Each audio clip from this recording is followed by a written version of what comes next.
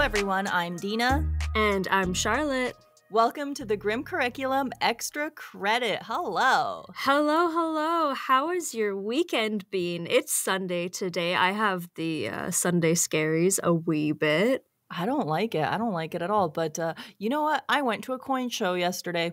Yes, you were telling me. That sounds so interesting. I love it honestly coins are fucking fun i don't know if we have any uh folks who like coins listening to the podcast but if you don't you should get into it i don't know if it's like just like a me in my 30s kind of thing that i'm going down this path but it is wholesome it is fun and uh, i'm digging it I love that. I have just been vegetating at home for most of the weekend, playing a lot of video games as per usual. And I have gotten back into Doom lately. I've mentioned that before, but uh, yeah. uh, slaying the demons is making me feeling oh my goodness making me feeling is making me feel a little better about the state of the world i think i feel that i um i am very impatiently waiting stardew valley is dropping their next big update in a few days and i am so excited. Oh my god, I haven't played Stardew in ages. And honestly, such a wholesome game. It's one I jump back into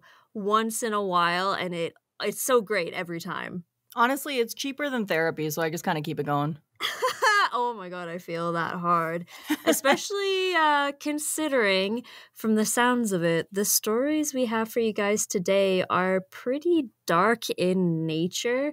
I've got one that goes all the way across the other side of the world, and one that hits really close to home for Dina and I uh, because it happened in a little town just outside of Edmonton, where we're from. I'm excited. I've got a uh, wild murder for hire story. Ooh. I've got a Luka Magnotta update that's just going to annoy the fuck out of you. Oh, boo. There uh, seems to have been a lot of those lately. I know. I don't like it. And this is one where, like, we're starting to see as time goes on the justice system doing its thing, and I'm not super stoked about it. Uh, but yep. we do have a listener email, and then we're going to top it off with our strange and unusual death. So I'm pretty excited for today, even though it is going to be a little terrible. Well, brace yourselves, folks. Um, so, yeah, if you're from the Edmonton area, I was actually really surprised that I hadn't heard about this. A coworker was telling me uh, she lives in Beaumont, Alberta, that just a couple of blocks down from her, a pretty horrific crime took place. And I, my jaw was on the floor when she told me. I'm eager to hear this. I don't know anything about this. Unfortunately, this is a story about the death of Teresa Lynn Oberly. She was a Beaumont resident, and unfortunately, she was murdered by her boyfriend and the father of her child. After he had murdered her, he took her body to his father's house where he kept her in the garage for a couple of days before letting his dad know that she was there. Oh.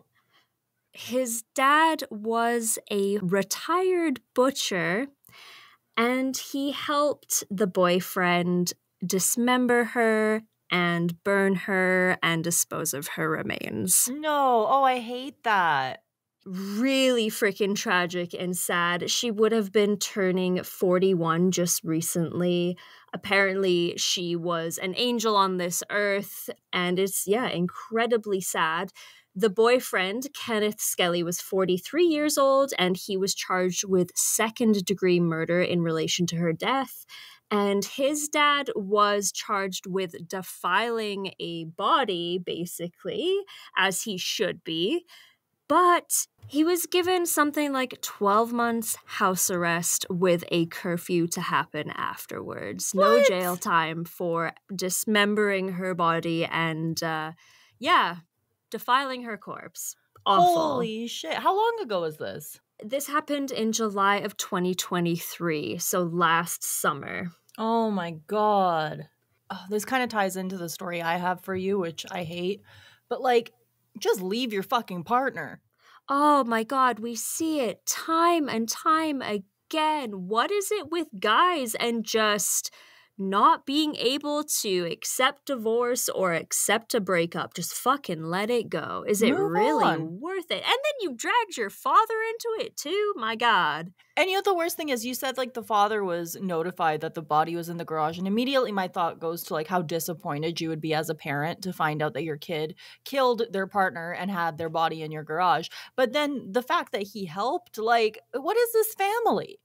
The first thing you would do in theory is call the police be like yeah yeah son uh, okay not a problem and then you call the police is what you do unfortunately somewhere along the line you know something snapped with your with your child and you got to do the right thing and this guy did not Oh my god, I hate that. I wish nothing but love and peace to her family. I looked her up real quick and apparently her family is from Delaware. As the time that the article that I found was written, they didn't have the funds to go and visit her for the funeral. And so they were trying to raise money to do that. A murder is always senseless, but this to me is just, that's so sad. Oh my god, no kidding. That's, yeah, incredibly tragic, but close to home. I hate it. I hate. You know what? I hate all of these stories. I, I love. I love what we do, but I hate what we talk about. If that makes any sense. Yeah, absolutely. I have a strange fascination with how humans behave and why they do the things they do because they are so incredibly senseless. And I think there's a part of me that really struggles to understand it. Like you say, it's incredibly senseless. There's no reason for this. I really think it's one of those things that you're never going to understand it because you're not fucking evil. You know what I mean? Like it's mm-hmm. it, it's not going to make sense because it you can't. I'm going to quote Dr. Phil. Uh, you can't make sense out of nonsense.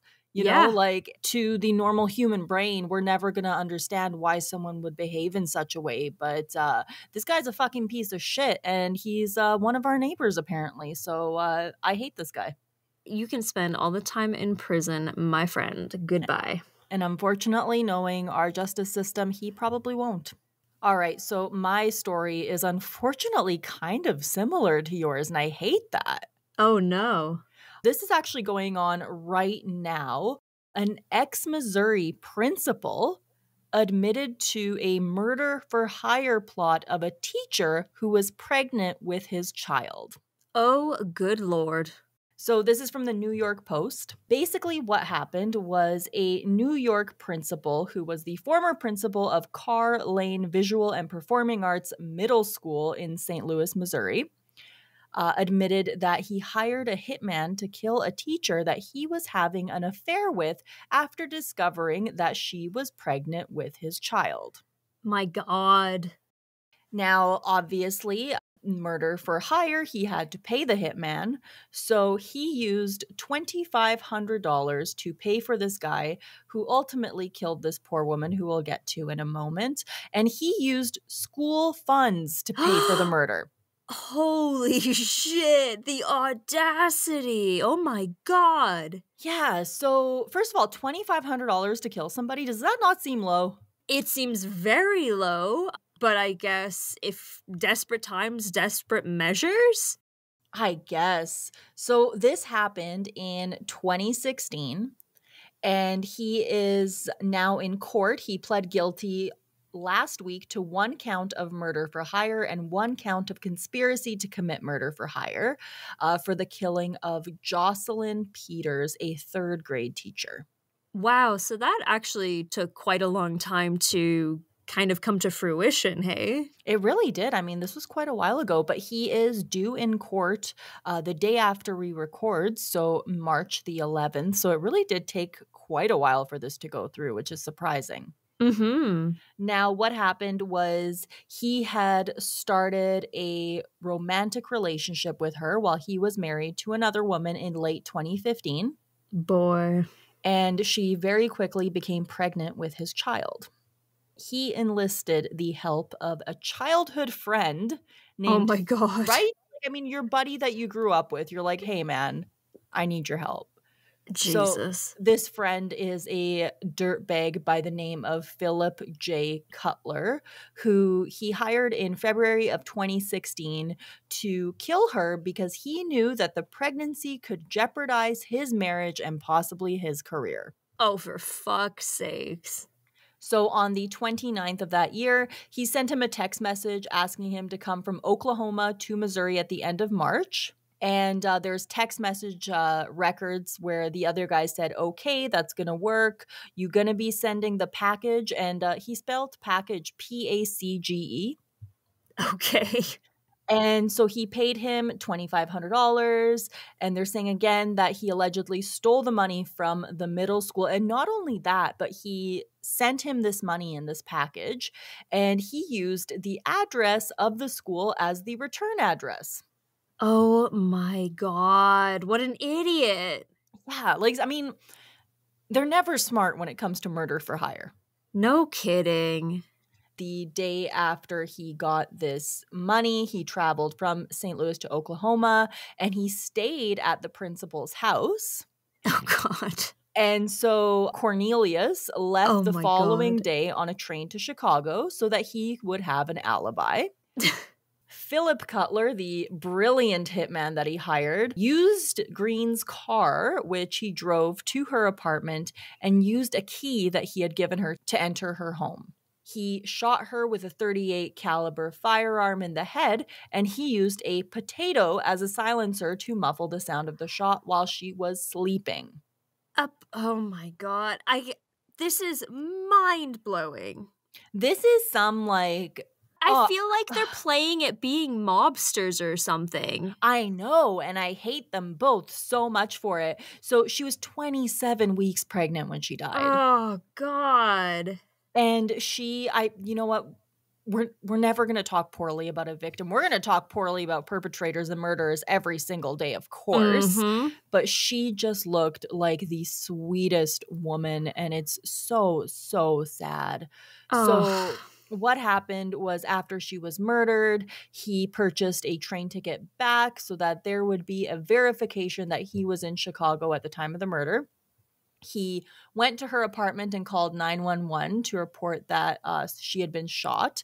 And he was pretending that he had no idea what happened. Everything was terrible. However, video surveillance near the apartment caught his car on the street and uh, that it was around the time of the murder. So they saw this guy on camera. Not only that, they had his location on on his phone which said that the guy had been at her apartment he is going to be appearing in court, like I said, on March 11th. Green himself is going to be appearing in court on June 5th for his sentencing.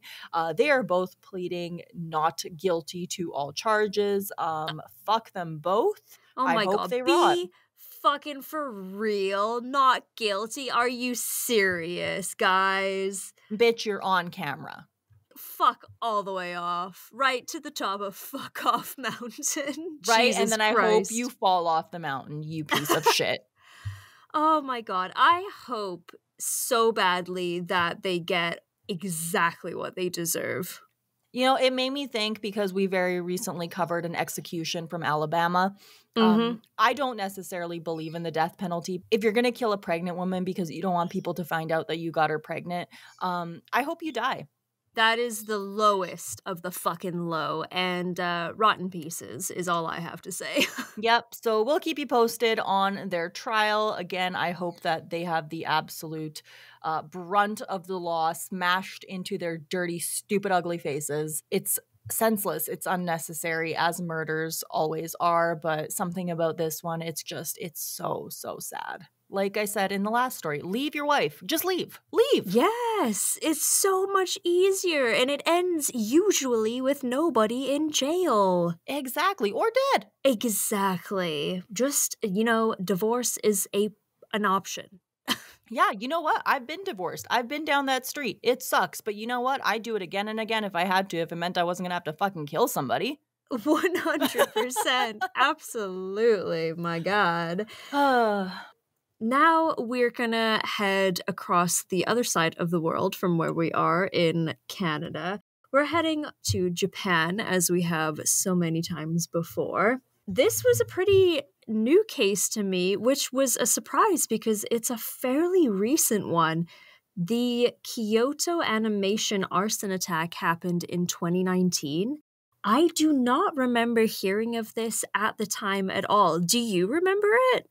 So I hadn't heard about this while it was happening, but I heard about it on another podcast very recently. And I'm also shocked that this wasn't all over the news because this is horrifying. Yeah, it's one of the worst mass attacks, mass murders, in fact, in Japanese history since World War II, which is crazy considering we talked about the sarin gas subway attacks, which killed 13 the Kyoto Animation Studio arson attack unfortunately saw 36 deaths and 32 more seriously injured, including the man who did it himself, Shinji Aoba.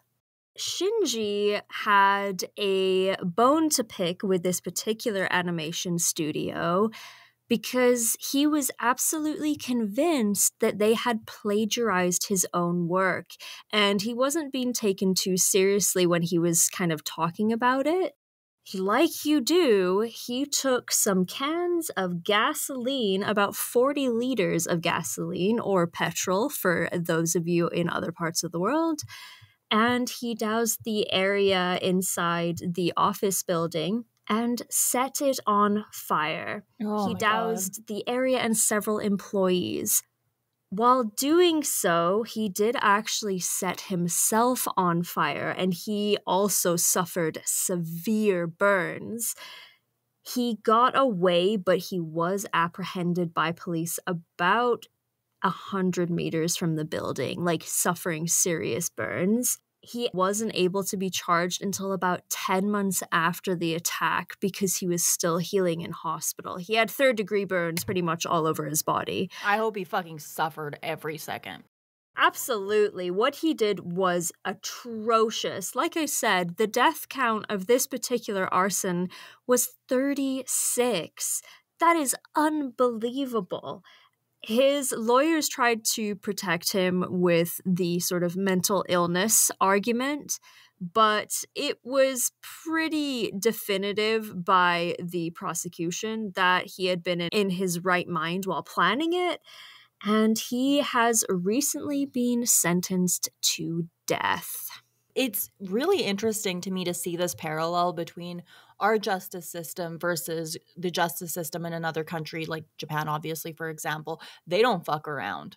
He was sentenced very recently. That's why it's kind of come back into the news. Like I said, the original fire did happen in 2019. It was revealed shortly after the fire that a majority of the victims had succumbed to burns rather than carbon monoxide poisoning, which is usually what happens. You die of smoke inhalation, right? Oh my God. But, but yes, I mean, we've talked about it before because it's kind of the morbid nature of the subject matter of the podcast, but burning to death is not a way I would want to go. That's for damn sure. His death is going to be nothing compared to the torture that he inflicted on those people. I mean, really.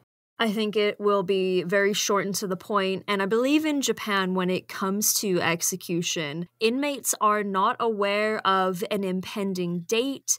It will just happen one day. I believe they get something like 24 hours notice. They're allowed to kind of write their last words, etc., etc. And then it just happens. That's it. It's not particularly publicized, which depending on your stance on execution, it's it has been widely criticized. Japan and the US are the only countries in, I believe, the G8 countries that allow execution. Really? But uh, yeah, so Shinji Aoba, born May 16th, 1978, will probably see his end sometime soon. And that's that's it. I've heard that they again because they don't know when it's going to happen, there isn't really a huge chance for any kind of appeals or anything like that. So, unlike in the states, they have it done pretty damn quick. Yeah, in the States, it can drag out for years or even decades in some mm-hmm. cases. But yeah, in Japan, you don't really get the option. Honestly, I feel like today's episode is um a whole lot of just really awful, awful news. And um, fuck this guy too. All of these people. I mean, we don't talk about good people on this show, but like these guys are just terrible. No kidding. I think today might be uh, maybe a little cathartic if you're feeling down in the dumps. Sometimes it's nice to listen to other sad material, I suppose.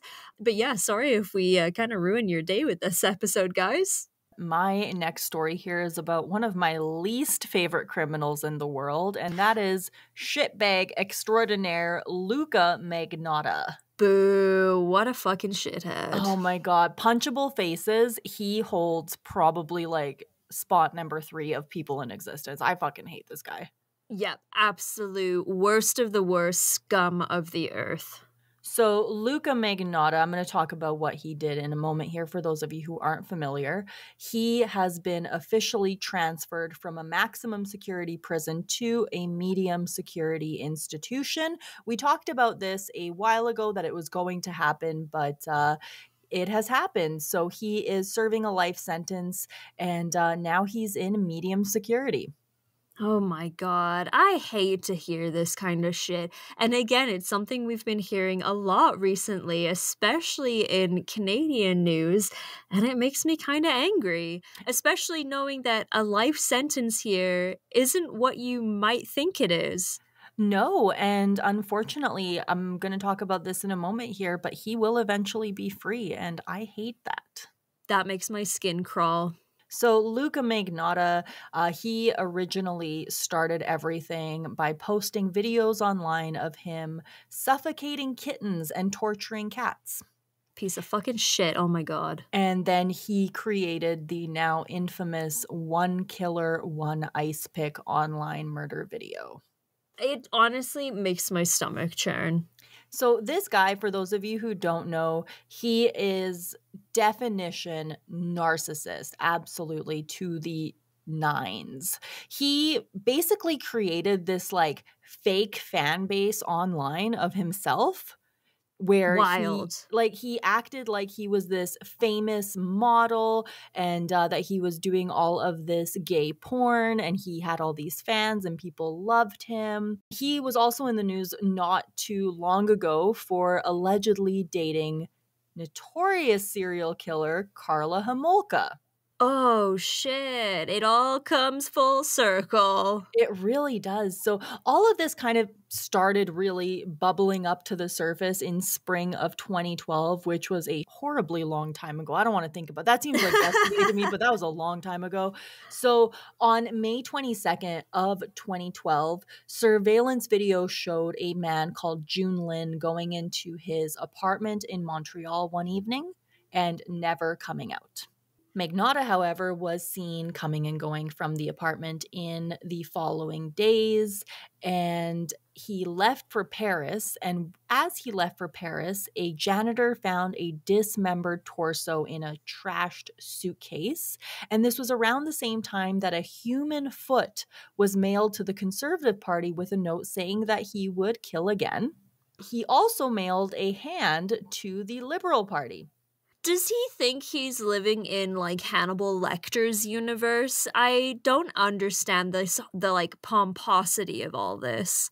Right, and the thing is he is one of those killers that clearly he just wanted to be famous for killing somebody. That's how I see him is he did all of this outrageous stuff so that his name would be known and unfortunately it kind of worked cuz we're fucking talking about the guy, but Yeah, true enough. But we're going to say a bunch of bad stuff about him. So we don't think you're fucking brilliant, Magnotta. You suck. For the record, I am not saying this guy is smart by any means. But no by May 30th of that year, Montreal police they realized that he was the prime suspect and Interpol added him on their watch list and a week later he was found in an internet cafe in Berlin. And at that time, Vancouver schools were receiving packages as well, including a hand and a foot, but luckily no students actually saw those contents. However, unfortunately, other people did. Oh, that's fucking horrible. But I do, I remember learning about this and uh, i think we were actually in like biology class or something and i remember talking about this with uh, a teacher Yeah, and that's interesting because I'm going to talk about something regarding a teacher after this. Oh, um, interesting. uh, but Jun Lin, his family came to Canada from China for the trial. Uh, they saw the verdict. They had 66 witnesses, and a ton of online and physical evidence was presented. He admitted to the killing, but he pleaded not guilty to all charges. What? And he was found guilty on all counts, including first degree murder, and he was sentenced to life in prison, which again in Canada means that you are not eligible for parole for up to 25 years, but that means that he will be eligible for parole when that time is up. womp womp. So, the Correctional Service of Canada, they're not saying where he was transferred to, so we don't really know where he is. I'm uh, sure the information will come out sooner or oh, later. it definitely will. So he met the criteria back in 2022, and uh, he is now in a facility. They're saying it has a well defined perimeter, it has high fences, it's strictly guarded, and it's patrolled by armed officers. But again, this means that he is going to be getting more freedom, which a man like this does not deserve. No, absolutely not. Lock the motherfucker up and throw away the key. They're saying, and this is again from the Correctional Service of Canada, that in Canada, our correctional system is fundamentally based on the rehabilitation of offenders, even if some remain incarcerated for the rest of their lives. This is our legislated mandate. We are constantly balancing many factors, including public safety risks, safe, secure, and humane treatment, and victim rights. In accordance with policy, CSC must review an inmate security classification at least every two years for medium and maximum security inmates, and we must place inmates in the corresponding institutions.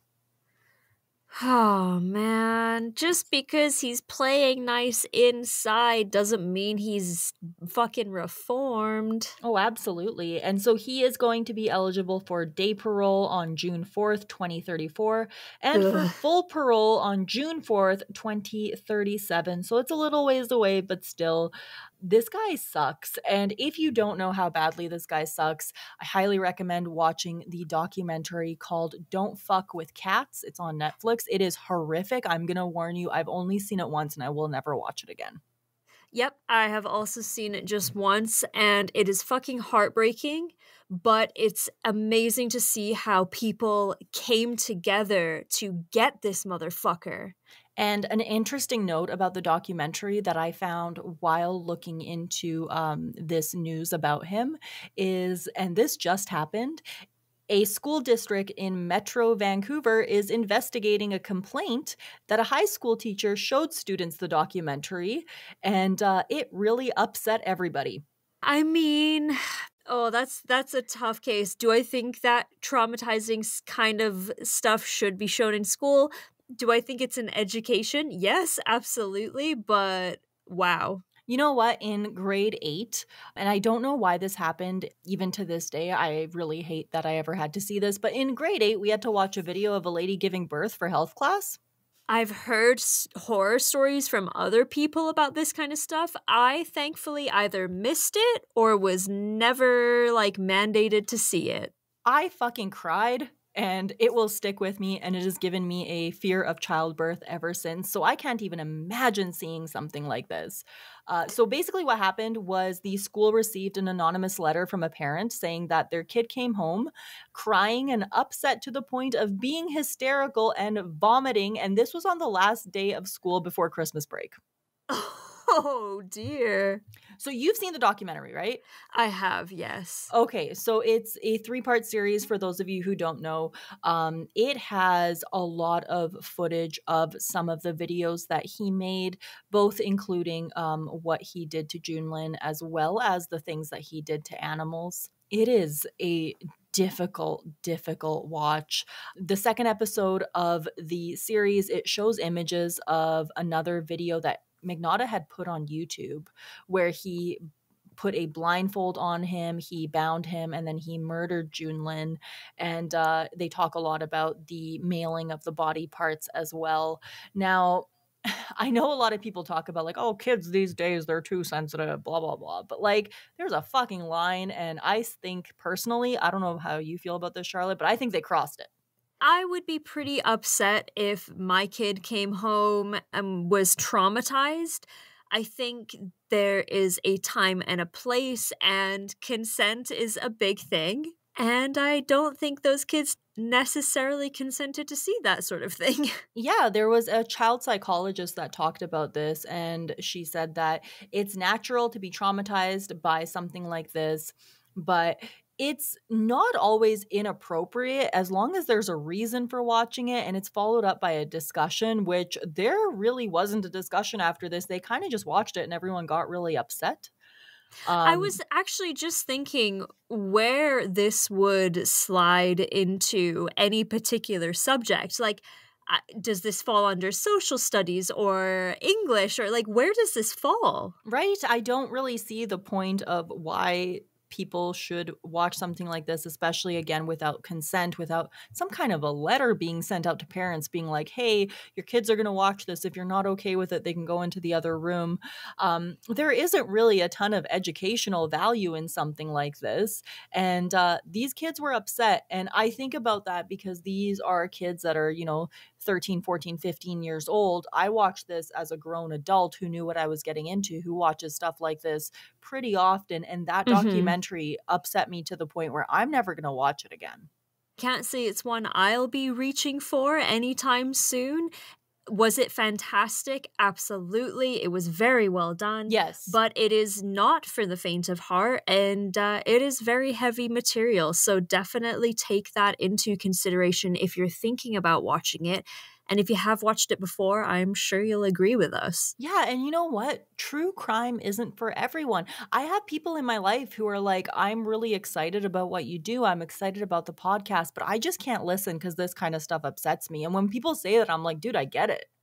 Yeah, absolutely. I've had very, very similar conversations with friends and family members. My mom, for one, she said one night, like, she was like, Oh, I, I lit some candles. And she's like, I was going to listen to your podcast. And she's like, You got into the story. And she was like, Nope, can't do this. Turned it off, put on some nice music. And I was like, I get it. I absolutely get it it's not for everybody and that's fine and that's why i think something like this i mean that's like if you took any average person and you made them listen to like an episode about like Pee Wee Gaskins or something horrific like that, the average person is not going to like that. If you're someone like us who enjoys learning about that kind of thing, you are not the norm. I mean, for a long time, I did uh, special effects makeup, and at the time, I particularly loved gory wounds and burns and all sorts of stuff. And the more realistic I could make it, the better, right? And I would post my work on Instagram and whatnot. And I actually had a friend reach out to me and said, Hey, I have to unfollow you. And he's like, it's nothing personal. He's like, I love you dearly, but he's like, I can't watch, like, I can't see this. It turns my stomach. And I was like, no worries at all. It's not for everybody. I understand you know i hope they're okay you know they're they're gonna recover. I mean obviously they're not traumatized for life or anything like that. They i mean people you'll you'll get over this kind of thing i think. But it's just a shitty thing to have to go through as a young child in school when you know you don't necessarily have the ability to get up and walk away. Most kids aren't going to just get up and leave. They're kind of forced to sit there and watch it. And again if you haven't seen this documentary you might think this isn't really a big deal but it's a rough one it's probably one of the most difficult true crime documentaries that i've seen in a long time because it touches on obviously the horrific crimes that he committed against this young man, but also the terrible human being that he was. Again, there's footage of him torturing animals, there's footage of him torturing Jun Lin. It's it's awful it's not your typical day of the teacher rolling in the TV on the cart and thinking, oh my God, it's going to be Bill Nye the Science Guy or it's going to be Schoolhouse fucking Rock or whatever. Right?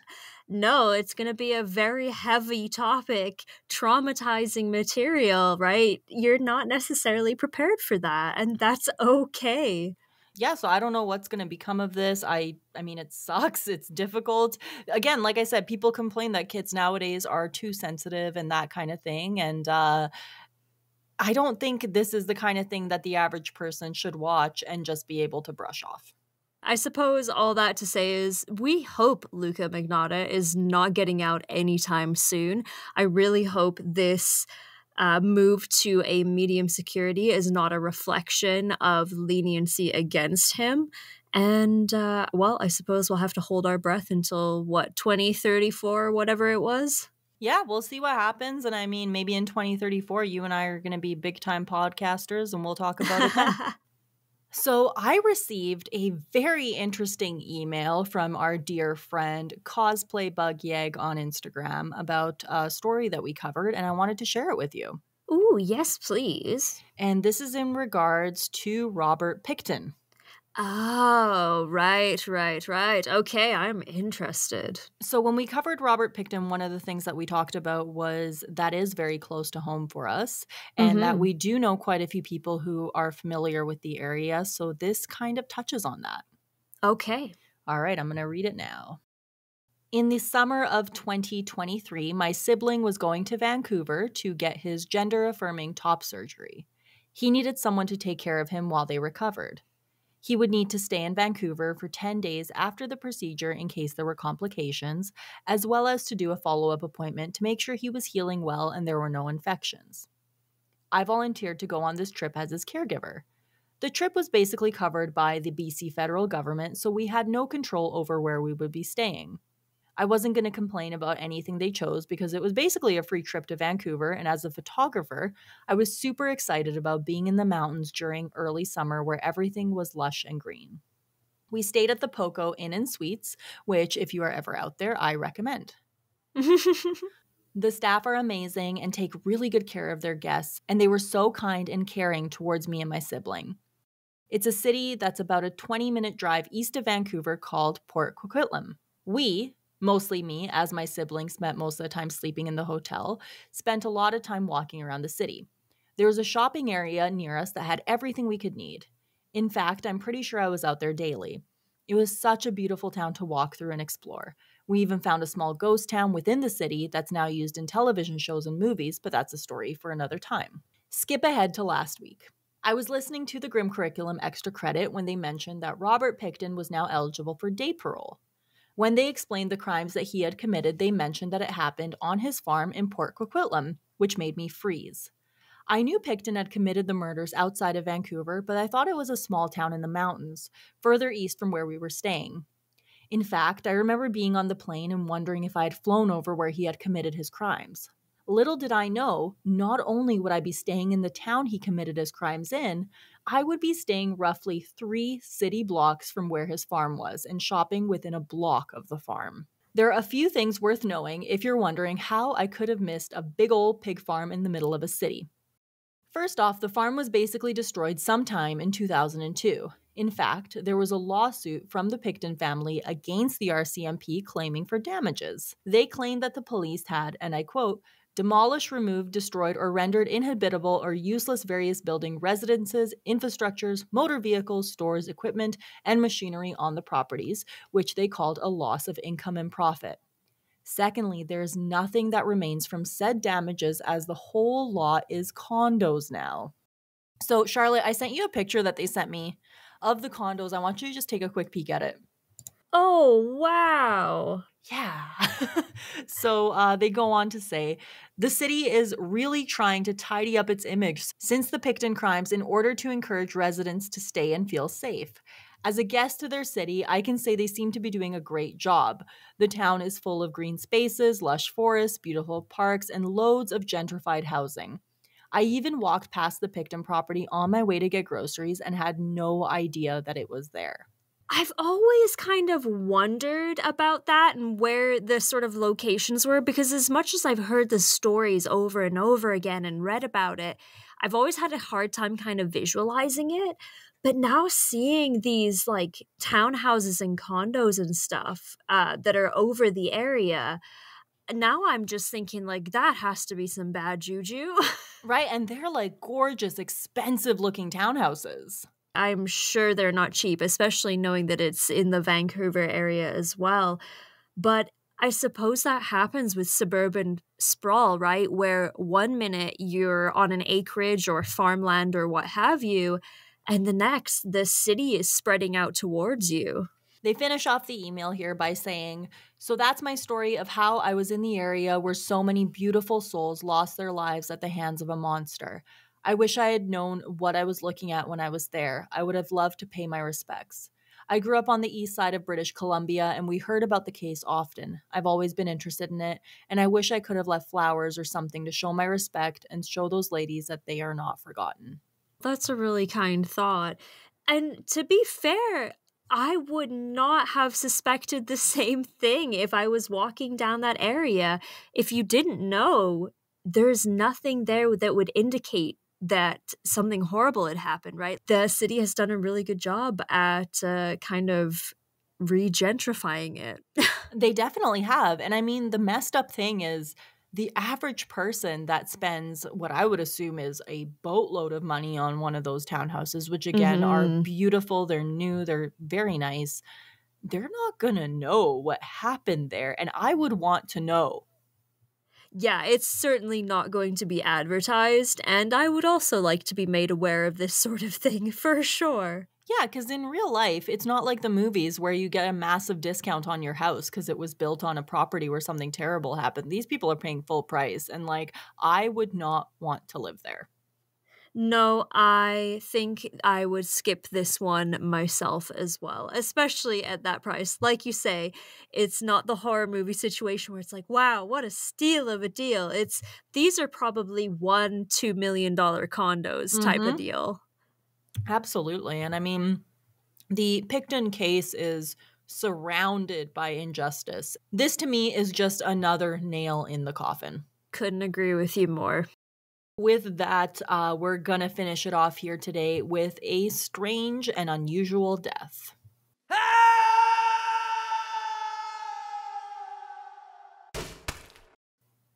I've heard that this one is going to take us all the way back. Yes, we are going back to approximately 262 BC. All the way back. oh, yeah. We're going to talk about a fella named Zeno of Citium, who was a Greek philosopher. And this is a short one, but uh, it's quite a strange death. okay. So this fella died somewhere around the age of about 71, 72. We're not exactly sure. And uh, the wild thing about it is, in his younger years, he actually survived a horrific shipwreck. Wow. Zeno was in Cyprus and he was a philosopher. So he was at a school, of course, and he was leaving the school one day and he tripped and he broke his toe. okay. So he broke his toe and he was angry and he started striking the ground and he was quoting a famous line saying, I come, I come, why dost thou call for me? And then he died on the spot because he was holding his breath. No way. And I heard this and it reminded me of Peter Griffin on Family Guy where he falls and he's just like, ugh. Oh, yes, yes. oh my God, that is the pettiest thing I've ever heard. I thought it was going to take more of a, oh, he, you know, died of sepsis because that seemed to be what got just about everybody in those days. Um, but he held his breath so long that he died. Yeah, and you know what? Like a lot of these ancient stories, I'm sure there's more to it. Maybe he had a heart attack or something, who knows? But uh, he broke his toe and died shortly after after punching the ground. You know, today's episode was full of just awful, awful, and more awful. So I kind of figured uh, I'd seal it up here with uh, a really strange death. you know, we never like to laugh at these, but uh, that's a hell of a way to go.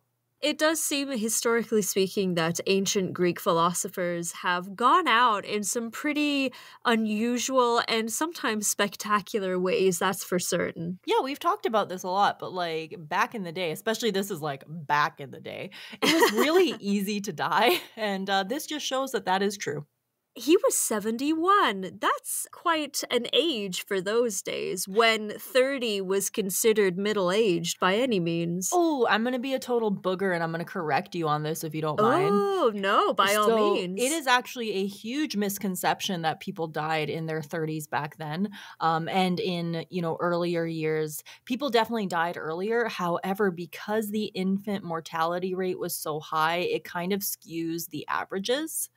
So. Oh oh. people actually did live quite a while back in the day, especially in ancient times. Um, so 70, 71, I mean, that was quite old, but it wasn't necessarily super unusual. Okay, good to know. I stand corrected. And I'm sure quite a few people out there are also like, oh, okay. That was a fun little fact for you to tell at the dinner table tonight. Absolutely. That's just another little knowledge bomb that I can hide away in my brain. All right. We're fun dinner guests, aren't we? just always bringing down the mood and talking about morbid things. But hey, I mean, if you're new here, well, hello, welcome. Hi. We talk about grim things. But if you're a long time listener, then uh, you know what you signed up for. Exactly. Speaking of being a longtime listener, so we've got a couple fun things coming up next week for the regular show. We are on to episode 99. Woo. So we've got a fun little palate cleanser for you all that uh, is pretty freaking cool. I actually really like this story. And then we are working towards our big 100th episode series that I I know you're excited. I'm excited. I know a lot of people mm-hmm. listening are excited. We've had some guesses. I'm going to say it right now. It's not Ted Bundy. Fuck no. And fuck Ted Bundy. It is fuck not Ted, Ted Bundy. Bundy. Nope. If we ever cover that motherfucker, it's gonna be a way bigger number than a hundred. Let me tell you that right now. and we're gonna complain the whole fucking time too. Absolutely. You are gonna have to stick with us for a very long time before we talk about Ted Bundy. I don't know if that's an incentive or not, but here we are. You know what? We've got a big list. Like those of you who don't know, Charlotte and I have a huge huge list of different categories of episodes that we're going to eventually do. I'd say hundreds upon hundreds of people on there. And uh, he's not on that list. No, absolutely he is not. And we add to this list all the time, especially thanks to a bunch of suggestions from you guys listening out there as well. But yeah, Ted Bundy, not a fella on the list and will not be anytime soon. So you're going to have to keep guessing for 100. and I like the guesses, so keep them coming. So uh, yes. if you have any guesses, let us know. If you have topics that you want us to cover on Extra Credit or the regular show, email us at the Grim curriculum at gmail.com. Or if you have a story like Cosplay Bug Yeg did, uh, I love hearing from you guys. I know Charlotte does too. So keep those coming. It's, it's fun to get to hear your side of things. And we did just very, very recently a, another Grim Encounters, Grim Encounters number five, in fact. And we did take it in a slightly different route. We contacted a couple of fabulous fantastic, talented authors who were gracious enough to share their work with us. And we told some short horror stories that are absolutely fantastic. So you should go check that out. But if you do have a grim encounter story of your own, by all means, send it our way. And uh, yeah, honestly, that was such a fun episode to do. I loved it. I want to do something like that again in the future because I love horror stories. I love horror shorts. And that one was just, oh, it was the stories that we covered. Again, if you haven't listened to it, go listen after this because I don't want to toot our own horn, but toot toot and toot toot to the amazing authors when we do it again, not if we do it again, because we're going to do it again because I had so much fun. Hopefully, there'll be some video content to go along with it as well. So stay tuned for that kind of thing as well. Yeah, we're working on all of that. We have recently learned that as the podcast grows, there's a lot of like, I don't even know how to word it. There's a lot of stuff we got to do to keep this beast growing. Absolutely, but it's so cool. It's amazing. Um, so the other thing to go along with that, as always, if you want to support the podcast in a really great way, please check out our Patreon. That's patreon.com slash the grim curriculum. We have recently updated it to uh, have the tiers make a little bit more sense. So you can support it for as little as like $3 Canadian or as much as $10 Canadian if you want us to read your name at the end of our episodes, which uh, I like reading your name. So let's uh, grow that list. Yeah, absolutely. We're also, of course, available across all the other social medias. We're on all major podcast platforms. Apart from that, I don't think we have anything else to tell you guys. Yeah, we hope you enjoyed today's extra credit episode. I know it was pretty dang gloomy, but that's what we do. And uh, we appreciate y'all for being there with us. Thank you so much for listening, guys. This has been the Grim Curriculum Extra Credit.